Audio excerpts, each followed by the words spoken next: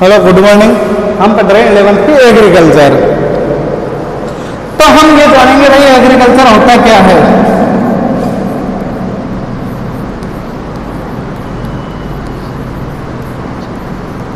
हम ये जानेंगे एग्रीकल्चर होता क्या है। पहले तो ये जानेंगे एग्रीकल्चर आया कहाँ से है और एग्रीकल्चर होता क्या है। तो एग्रीकल्चर आया है विज्ञान में से। जब हम टेंथ को पास करते हैं तो इलेवेंथ क्लास में आते हैं तो हमको सब्जेक्ट चूज़ करने पड़ते हैं। कोई तो लेता है साइंस में कोई कहता है मैं साइंस बायोलॉजी लूँगा। तो ऐसे ही एग्रीकल्चर सब्जेक्ट को चूज़ करना पड़ता है। तो हम ये जान लेते हैं एग्रीकल्चर निकला कहाँ से?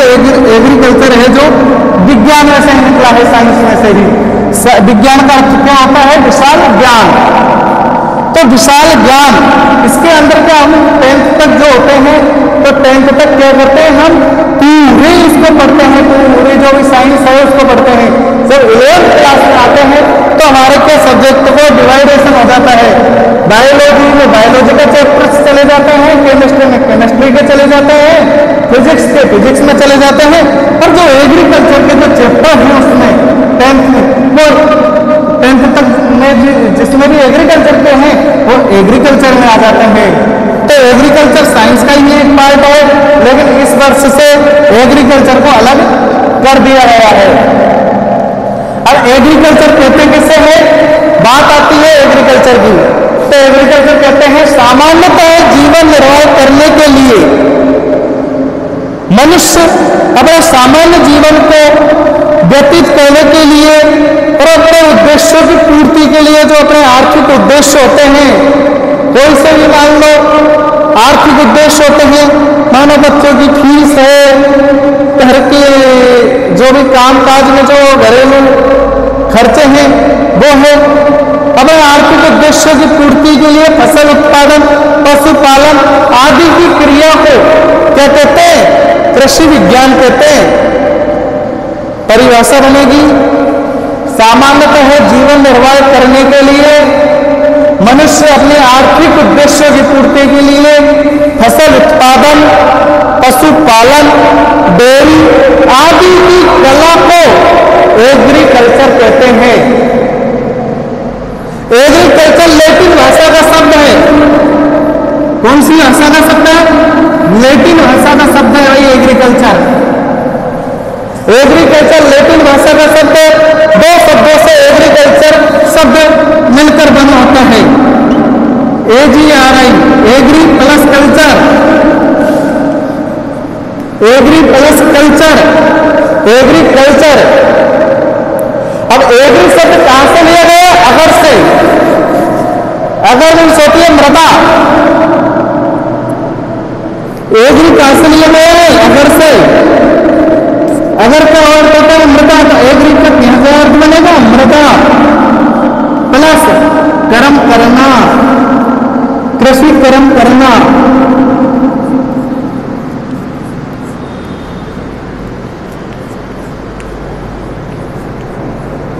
तो एग्रीकल्चर का मृदा कृषि मतलब मृदा में कृषि कर्म करना।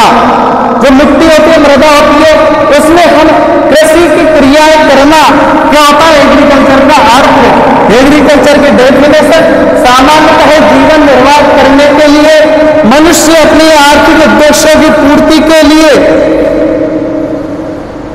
फ़सल उत्पादन पशुपालन आदि की क्रिया को ही एग्रीकल्चर कहते हैं। खाद्य कृषि संगठन एफएओ जो होता है। उसके कृषि विशेषज्ञ रह चुके डॉक्टर के एल मेहरा, जिन्हें जो सरस्वती नदी का उद्भव हुआ, उसमें शोध हुए। उसमें कहा है कि भारत प्राचीन काल से ही एक ऐसा देश है कि जो भारत दो फ़सलों को एक ही मौसम में उगाता है। भारत में एक ही मौसम में दो फ़सल उगती है। डॉक्टर के मेहरा जी ने ये बात कही थी। एम एस रंधावा की जो पुस्तक आती है, उसमें एग्रीकल्चर का इतिहास बताया गया है। वो आपका पहला लेसन है। कृषि इतिहास, हम पढ़ रहे हैं लेसन नंबर एक एग्रीकल्चर का। कृषि इतिहास एवं शाखाएँ एवं महत्व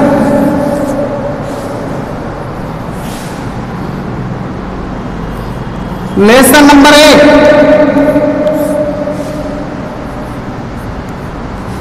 क्या नाम है पाठ का? कृषि इतिहास। कृषि इतिहास। शाखाएँ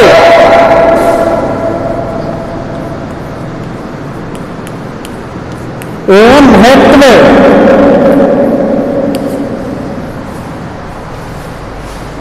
एवं कृषि क्षेत्र एवं कृषि क्षेत्र। हम पढ़ रहे हैं पहला लेसन, इसमें है पाठ का नाम भारतीय कृषि इतिहास। लेसन नंबर एक का नाम है भारतीय कृषि इतिहास। तो भारतीय कृषि इतिहास में डॉक्टर के ए. मेहरा जी जो खाद्य संगठन खाद्य कृषि संगठन के जो कृषि विशेषज्ञ रह चुके, उन्होंने ये ये कहा है कि भारत एक ऐसा देश है जिसमें एक ही मौसम में दो फ़सलें उगाई जा सकती है। और आपको कृषि का इतिहास का विवरण डॉक्टर एम एस रंधावा की एक बुक है, जिसमें हमें कृषि के इतिहास के बारे में मिलता है। सन अठारह सौ निन्यानवे में उन्नीस सौ में सन अठारह सौ निन्यानवे में उन्नीस सौ में एक भीषण अकाल को देखते हुए स्थायी समाधान के लिए भारतीय कृषि बोर्ड की स्थापना की गई। और सन 1905 में फिफ्थ ऑफ़ यूएसए की एक प्रयोगशाला खोली गई। बिहार के दरभंगा ज़िले में गंडक नदी के किनारे पर, जिसको कहते हैं फिफ्थ ऑफ़ यूएसए पूसा स्थित कृषि संस्थान में 1911 में Imperial Institute of Agriculture Research का नाम किया गया। जो ये फिर से है जब बिहार के दरभंगा गंडक नदी के किनारे पर बाढ़ आ जाती है, भूकंप आ जाता है, तब इस फ्लिपकार्ट यूएसए को दिल्ली ट्रांसफ़र कर दिया जाता है। तो दिल्ली में ट्रांसफ़र कब आई ये बात सात नवंबर उन्नीस सौ छत्तीस में। एक बाढ़ भूकंप आ जाता है, जिसमें इसको स्थानांतरित कर दिया जाता है। जो आज आई ए आर आई भारतीय कृषि अनुसंधान संस्थान इंडियन एग्रीकल्चर रिसर्च इंस्टीट्यूट के नाम से जाना जाता है। किसके नाम से जाना जाता है? आई A R I I A R आई के नाम से जाना जाता है। उन्नीस सौ उनतीस में नई दिल्ली में कृषि अनुसंधान स्थापना की गई, जिसे हम आईसीएआर कहते हैं। क्या कहते हैं? ICAR Indian Council of Agriculture Research वो नई दिल्ली में है जो एग्रीकल्चर पूरी जो भी एग्रीकल्चर के विश्वविद्यालय चल रहे हैं, उनको कंटेक्ट करता है आईसीआर राजस्थान में जितने भी एग्रीकल्चर है इंडिया के अंदर भी। उनको कंटेक्ट कौन करता है आईसीएआर आईसी एग्रीकल्चर की जो भी यूनिवर्सिटी है वो किससे जुड़ी हुई होती है? आईसीएआर से। ये बीज भी निकालता है इसके सारे प्रोडक्ट निकले हुए होते हैं। आईसीएआर अब बात आती है एग्रीकल्चर की शाखाएँ। तो एग्रीकल्चर की शाखाएँ भी बटी हुई होती है। अपना इतिहास लिया अब आती है शाखाएँ। एग्रीकल्चर की भी शाखाएँ होती है। पहले नंबर पर शाखा होती है शस्त्र विज्ञान, जो एग्रोनॉमी होती है।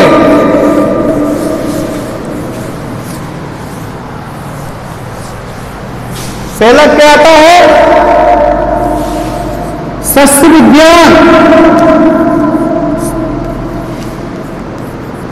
सस्य विज्ञान, जिसको क्या बोलते हैं? एग्रोनॉमी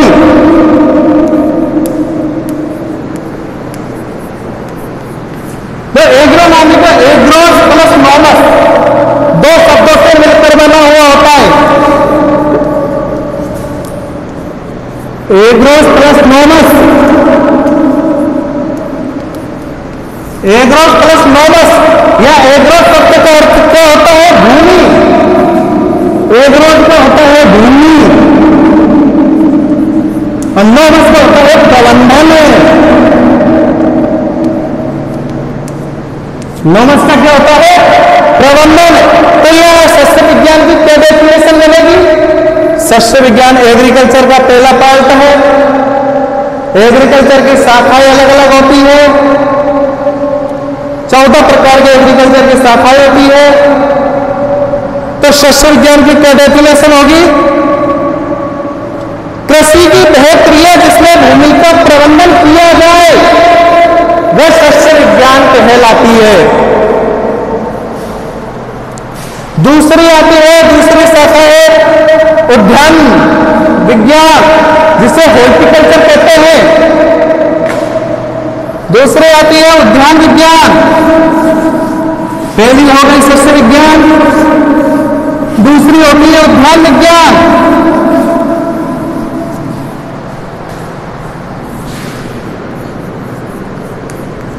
दूसरी होती है उद्यान विज्ञान। जिसे बोलते हैं हॉर्टिकल्चर। इसमें क्या होता है? फल, फूलों और सब्जियों का अध्ययन किया जाता है, ज्ञान विज्ञान के अंतर्गत। कृषि विज्ञान की वह शाखा जिसके अंतर्गत फल, फूलों और सब्जियों का अध्ययन किया जाता है वो उद्यान विज्ञान कहलाती है। तीसरे नंबर पर आते हैं पशुपालन, जिसे हम एनिमल हस्बेंड्री कहते हैं।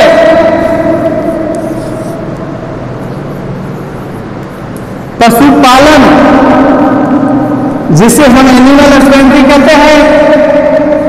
तो पशुपालन किसे कहते हैं? विज्ञान की वह शाखा जिसमें पशुओं का व डेयरी का अध्ययन किया जाता है उसे हम एनिमल हस्बेंड्री कहते हैं। चौथी शाखा आती है मधुमक्खी पालन एपीकल्चर मधुमक्खी पालन, कृषि विज्ञान की वह शाखा जिसमें हम मधुमक्खियों का पालन करते हैं, उसे ही हम एपीकल्चर कहते हैं। पांचवी शाखा है फिशिकल्चर मछली पालन। किसे कहेंगे मछली पालन? कृषि विज्ञान की वह शाखा जिसके अंतर्गत मछली पालन किया जाता है, वह फिशिकल्चर कहे लाते हैं। छठे नंबर पर आती है रेशम कीट पालन। कृषि विज्ञान की वह शाखा जिसमें रेशम कीट पालन किया जाता है, उसे हम रेशम कीट पालन कहते हैं। इसके अंतर्गत वो वस्त्र आते हैं। जो देखा होगा आपने, जो रेशम के वस्त्र जो आते हैं, कहते हैं ना, ये रेशमी वस्त्र है तो नहीं रेशम कीट के अंतर्गत आते हैं ये। नेक्स्ट आते हैं लाख उत्पादन। लाख लाख बहुत महत्व रखती है। लाख देखी होगी आपने। चूड़ों की जो लाख बनती है लाख से चूड़े भी बनाए जाते हैं। वो ये तो कृषि विज्ञान की वह शाखा जिसके अंतर्गत लाख का अध्ययन किया जाता है। उसे हम लाख उत्पादन कहते हैं। नेक्स्ट आता है वन विज्ञान। कृषि विज्ञान की वह शाखा जिसमें हम वनों के पेड़ पौधे औषधीय आदि का अध्ययन करते हैं, उसे वन विज्ञान कहते हैं। देखो, वन विज्ञान के अंतर्गत क्या होता है? वन विज्ञान में औषधीय पाए जाते हैं। फलदार वृक्ष पाए जाते हैं। अन्य भी बहुत से वृक्ष पाए जाते हैं। उनका अध्ययन हम एग्रीकल्चर की शाखा में, जिस शाखा में करते हैं, उसे वन विज्ञान कहते हैं। जिसे हम फॉरेस्ट्री कहते हैं। नेक्स्ट आता है मशरूम उत्पादन। मशरूम प्रोडक्शन कृषि विज्ञान की वह शाखा जिसमें हम मशरूम की खेती करते हैं, या मशरूम उत्पादन करते हैं, उसे ही हम मशरूम उत्पादन कहते हैं। नेक्स्ट आता है कुक्कुट उत्पादन। कुक्कुट उत्पादन है कृषि विज्ञान की वह शाखा जिसके अंतर्गत हम मुर्गी पालन कुक्कुटों का अध्ययन करते हैं, उसे हम पोइट्री कहते हैं। कुक्कुट पालन कहते हैं। इसके अंतर्गत मुर्गियों की नस्लों के बारे में जानते हैं कि मुर्गियों की कौन कौन सी नस्ल है। नेक्स्ट आता है कीट विज्ञान एंटोमोलॉजी इसमें क्या करते हैं? कीटों का अध्ययन किया जाता है। कौन सी फ़सल पर कौन सा कीट बैठा है? उसके लिए कौन सा कीट नियंत्रण करेंगे? इसके अंतर्गत किया जाता है। नेक्स्ट आता है पादप रोग विज्ञान प्लांट पैथोलॉजी जिसे हम कहते हैं। इसमें क्या होता है? प्लांट पैथोलॉजी में कृषि विज्ञान की वह शाखा जिसके अंतर्गत हम पादप के रोग रोगों का अध्ययन करते हैं। उसे हम प्लांट पैथोलॉजी कहते हैं पादप रोग विज्ञान कहते हैं। नेक्स्ट आता है कृषि प्रसार। कृषि प्रसार के अंतर्गत क्या आता है? एक कमेटी बैठती है, एक संगठन होता है कृषि बोर्ड का। तो ये क्या करता है? गाँवों में लोगों को भेजता है। तो गाँवों में ज़्यादा से ज़्यादा कृषि का प्रचार हो। कृषि की नई तकनीकों का प्रचार हो। गाँव वालों की जो इंफॉर्मेशन आती है, गाँव वाले जो वो तकनीक के बारे में बताते हैं, उनको जाकर बोर्ड के संगठनों को बताना, कृषि प्रसार कहलाता है। नेक्स्ट आता है, कृषि अर्थशास्त्र। इसमें कृषि लागत, कृषि में जो लागत लगती है, उसका अध्ययन किया जाता है। कृषि में कौन कौन सी लागतें लगती है, बीज का खर्चा वगैरह। जो भी फ़सल बोते हैं उससे लेकर एंड तक जो खर्चा आता है जो भी लागत लगती है किसान की, उसका कृषि शास्त्र में अध्ययन किया जाता है। आज के लिए इतना ही। कल हम पढ़ेंगे कृषि के महत्व और कृषि के क्षेत्र।